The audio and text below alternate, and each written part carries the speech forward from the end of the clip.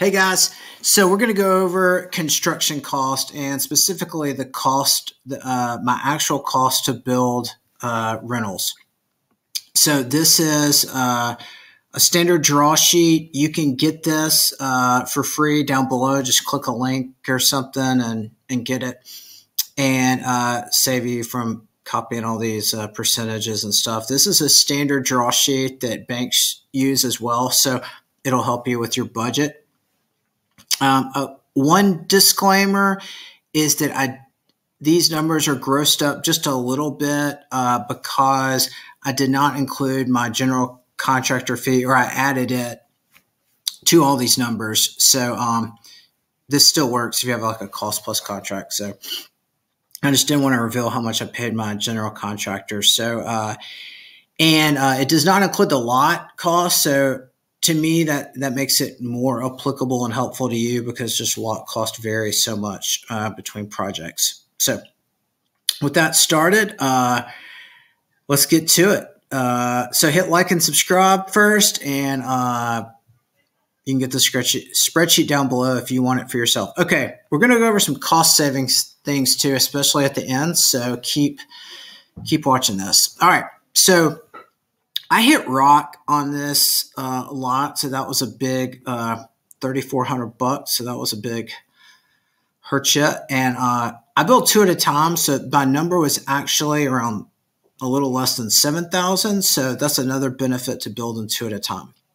All right, the foundation that's just the block work for the crawl space. Uh, we're getting into framing. So a, a strategy that I like to use is while something is being framed is not to make a draw on your construction line until it's uh, dried in. So if you can do that you can save a lot of money on interest and you only have a couple once it's dried in you only have two months to finish maybe three months anyway so you only have two or three months of actual interest expense. So that's a big money saving tip.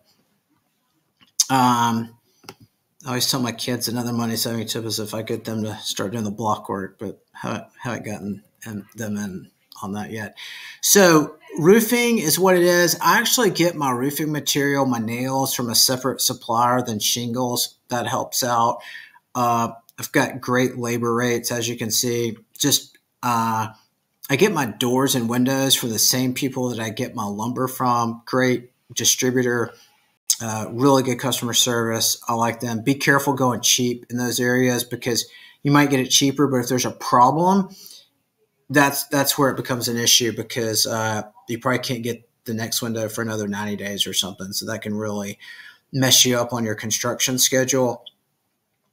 Um, you could do the insulation yourself if uh, and uh, this sewer connection fee that was uh, I don't know. For some reason, that was one of the ones I don't like paying, but uh, you got to do it. Uh, the trim trim work. Uh, I always tell my wife I'm going to get her to start doing it. She likes to do trim work actually. Um, cabinets are a big area to save money in. Um, in the kitchen or in the bathrooms, just use like vanities from wherever you want, uh, and that's a way to get it cheaper. And in the kitchen for a rental uh, mine could be a lot less than this if I just did bottom cabinets. Uh, I do top because my contractor likes to do that, and um, I need it for my for an inspection to tie in with a, a, a hood vent. So didn't make much sense for me, but uh, but for others, I would highly recommend looking at that. Uh, you can also like build, do butcher block for countertops. Again, my contractor doesn't like that, so we don't do it. My wife doesn't either, so we use seconds for granite. Um, but those are some big money saving tips. So fireplace, I do not have, but I have a line item because I wanted to give you all like a standardized uh, cost list. Uh, garage floor, I don't have that as well. Those two things I actually spent on that bill and dirt work, so that's why it's the same. Um, hardwoods, uh, another area for massive money saving. I would not do carpet. I don't do carpet. Uh, if you have any kind of tenants, it's it's going to be disgusting um, in no time. So use engineered flooring for that. You should be around two dollars a foot. You should be good.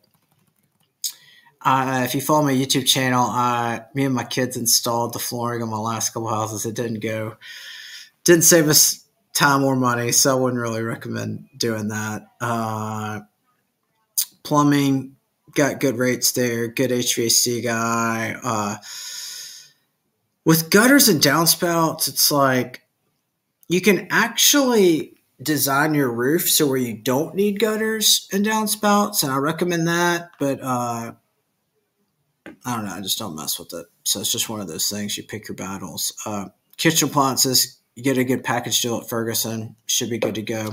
My driveway, that's for a parking pad and uh, like an apron at the street. There's still gravel uh, for the main driveway. It would have been double that number if I would have actually uh, just paved everything. So uh, hopefully this helps. Uh, hit like and subscribe.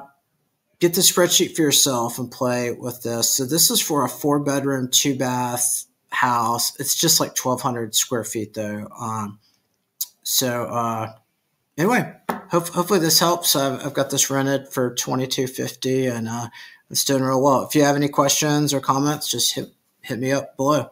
Thanks so much.